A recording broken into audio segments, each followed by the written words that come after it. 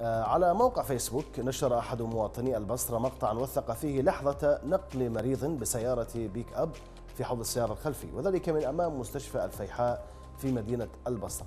تساءل المواطن أين دور وزارة الصحة بتوفير سيارات الإسعاف لنقل المرضى والمصابين؟ وقال وقال أيضا كيف يتم نقل رجل مريض بهذه الطريقة تحت أشعة الشمس اللاهبة؟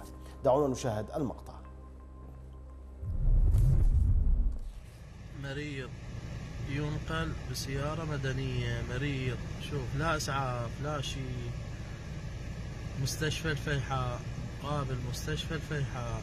يعني ما عندهم سيارة إسعاف؟ الله أكبر يا الله الله أكبر يا الله. الله أكبر يا الله الله أكبر. ليش؟ وين أموال العراق؟ وين الأحزاب؟ لعنة الله عليكم. الأحزاب لعنة الله عليكم لعنة الله عليكم لعنة الله عليكم.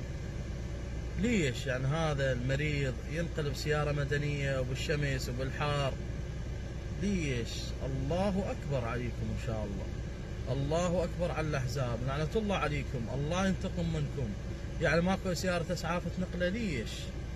ليش؟ شنو هالظلم هذا؟ الله أكبر عليكم. الله لا يوفقكم إن شاء الله.